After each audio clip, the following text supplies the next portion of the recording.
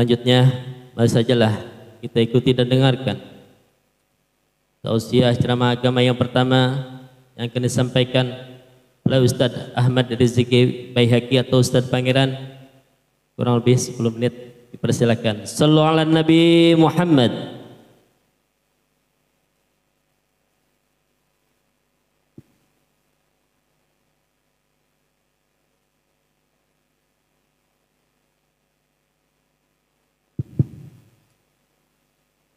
Assalamualaikum warahmatullahi wabarakatuh. Assalamualaikum warahmatullahi wabarakatuh.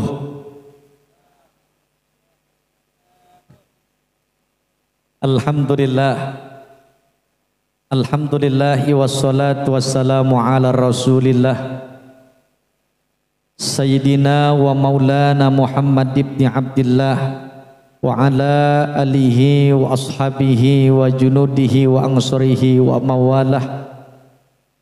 La hawla wa la quwata illa billah. Salatan wa salaman daimaini mutalazimaini ila yaumil qiyamah. Faqad Allah Ta'ala fi ayatihil karimah wa huwa asdaqul maqalah al muwafiq li hadhihi al walimah Kul innal mauta allati tafiruna minhu fa innahu mulaqikum al ayah Sadaqallah wa sadaq Rasulullah sallallahu alaihi wasallam. Amma ba'd hadratal mukarram segenap para alim, para ulama, para asatis, para dewan guru, para kiai yang hadir begitu banyak pada malam hari ini terkhusus yang sama-sama kita hormati, yang sama-sama kita muliakan. Guru kita yang mulia Al-Mukarram Al-Ustaz Kiai Haji Ahmad Syahroni Kiai Haji Ahmad Nasihin LC Kiai Haji Burhan Ubaidillah Kiai Haji Ihsan. Kita doakan segenap guru-guru kita mudah-mudahan senantiasa selalu dalam lindungan Allah Subhanahu wa taala yang sama-sama kita hormati, yang sama-sama kita muliakan. Al-Mukarram Al-Ustaz Kamaluddin Al-Mukarram Al-Ustaz Abdurrahim Al-Ustaz Nahari Yai Abdul Mu'ti.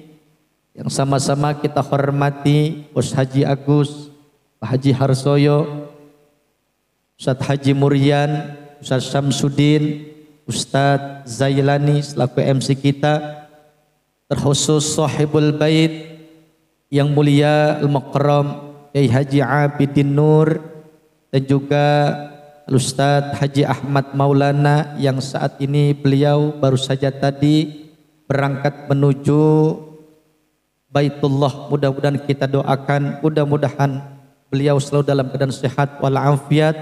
Insyaallah mudah-mudahan jadi haji yang mabrur. Terkhusus aparatur pemerintah kita yang mulia Al-Mukarram Bapak Lurah kita Bapak Haji Agus teriring doa mudah-mudahan beliau senantiasa selalu dalam lindungan Allah Subhanahu wa taala.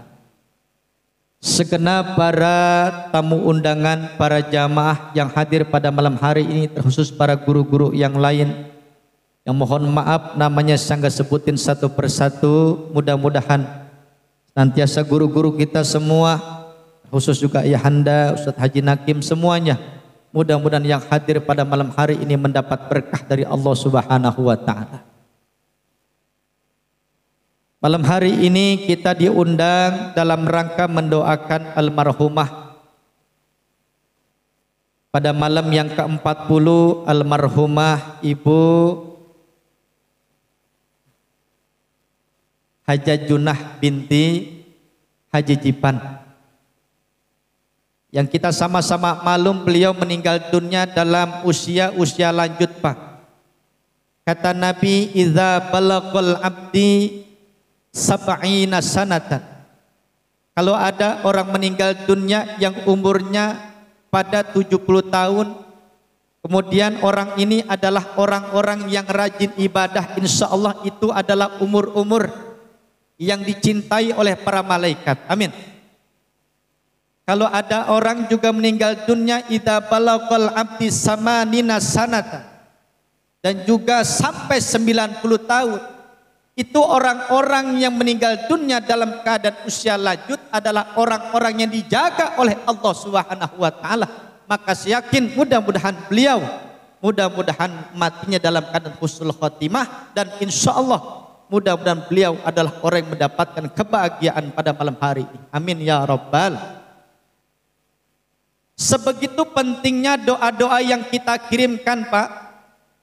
Dari malam pertama hingga malam ketiga Dari malam ketiga hingga malam yang ketujuh Dari malam ketujuh hingga pada malam yang ke-40 atau malam 14, malam 40 Nanti 40 ada 100 hari hingga nanti ketemu lagi haud Sebab kenapa orang yang meninggal dunia kita kirimkan doa Sebab mereka ketika meninggal dunia innal mauta yuftanuna fi kuburihim.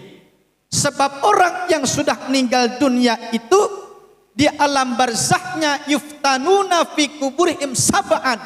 Mereka akan diuji dalam waktu tujuh hari. Bahkan dalam hadis yang lain arba'ina ayam sampai 40 hari. Maka nggak salah ulama-ulama kita, guru-guru kita ngajarin kepada kita. Ketika ada orang yang sudah meninggal dunia, kita kirimkan doa malam pertama, kita kirimkan doa hingga malam ketiga, kita kirimkan doa hingga malam yang ketujuh, malam ke bahkan nanti seratus dan nanti ketemu lagi haul. Sebab mereka yang sudah meninggal dunia di alam barzaknya diuji oleh Allah Subhanahu wa taala. Maka doa ini sangat bermanfaat Pak. Doa-doa yang kita kirimkan buat orang yang sudah meninggal dunia ternyata manfaatnya begitu besar. Bahkan Nabi Ra'aitu filahil mahfuz hinal mi'raj salasata anwar kata Nabi.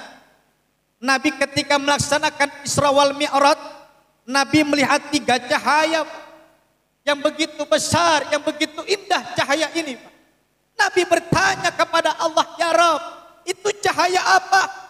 Ternyata itu adalah cahaya min surah Al-Ikhlas, wa min surah Yasin, wa min ayat Al-Kursi dan itu adalah tiga cahaya-cahaya surat Al-Ikhlas, surat Yasin dan ayat-ayat kursi ternyata orang yang sudah meninggal dunia nanti ketika Allah bangkitkan di alam barzahnya alam kuburnya mukanya bercahaya ujuhuhu yauma idzin nadhiroh mukanya bercahaya. Sebab itulah maka ketika orang meninggal dunia dibacakan tahlil, dibacakan yasin, dibacakan ayat-ayat kursi, nanti begitu Allah bangkitkan di alam barzahnya sangat-sangat bercahaya. Alhamdulillah maka malam hari ini Pak insya Allah doa-doa yang kita kirimkan sangat bermanfaat buat almarhumah. Amin ya robbal alamin.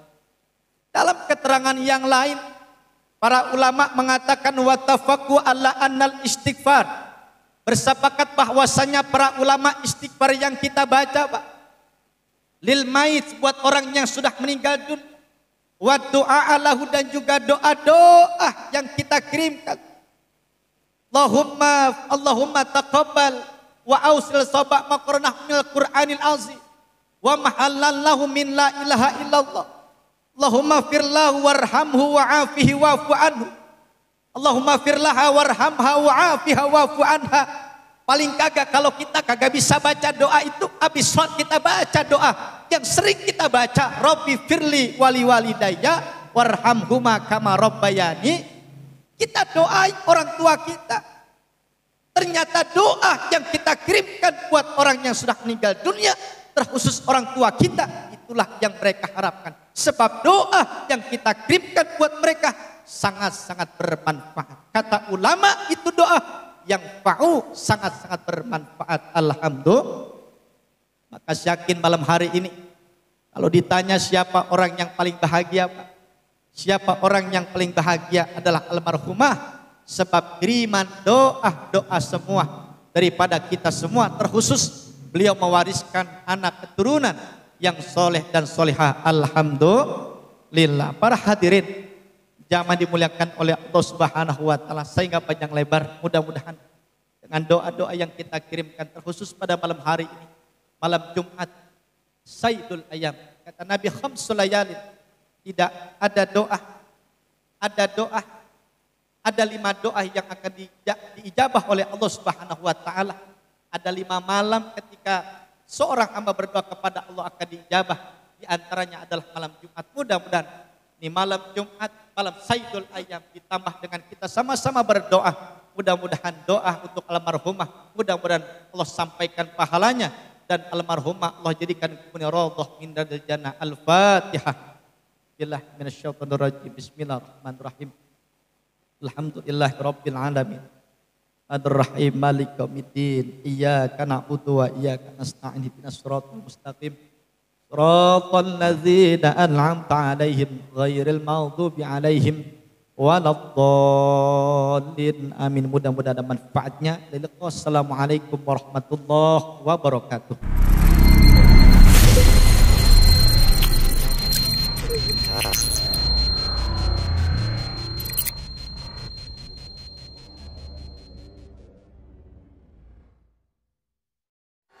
dengan siaran langsung YouTube channel live streaming Fadlan Sel jadi setelah acara nanti bisa ditonton kembali, dilihat kembali di YouTube channel Fad dan Sel dan jangan lupa untuk like, komen, subscribe untuk membantu siar dakwah agama Allah Subhanahu wa taala.